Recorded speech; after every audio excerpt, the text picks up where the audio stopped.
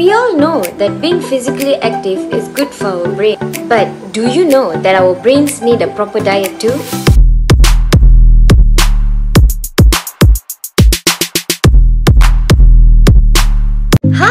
I'm Vinosha and welcome to the Brain Discovery channel. Today, I will share with you how a healthy diet can improve our brain health and slow down cognitive decline. A study published recently suggests that the Mediterranean intervention for neurodegenerative delay, or simply known as the MIND diet, can help keep our brain sharp.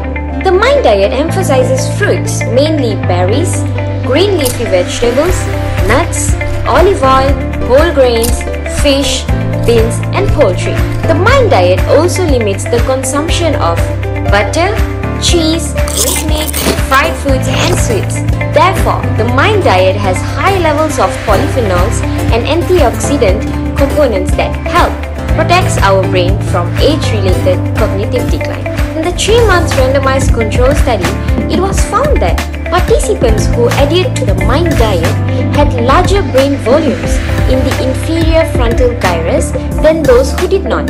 The inferior frontal gyrus is well known for its role in the processing of speech and language as well as attentional control. Larger brain volumes in the inferior frontal gyrus may be the reason why participants who adhered to the MIND diet showed significant improvement in verbal working memory and attention than those who did not. Oh, some of you might not be familiar with the term verbal working memory. Verbal working memory is what allows you to understand words you read or sounds you hear. For example, your verbal working memory is now active to understand what I'm saying.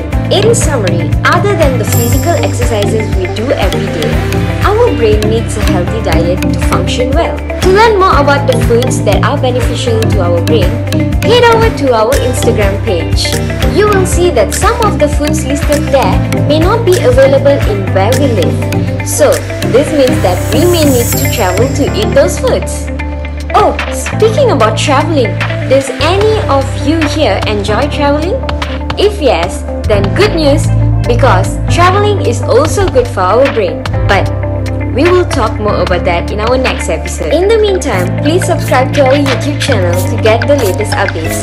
Thank you all for watching. See you again. Bye bye.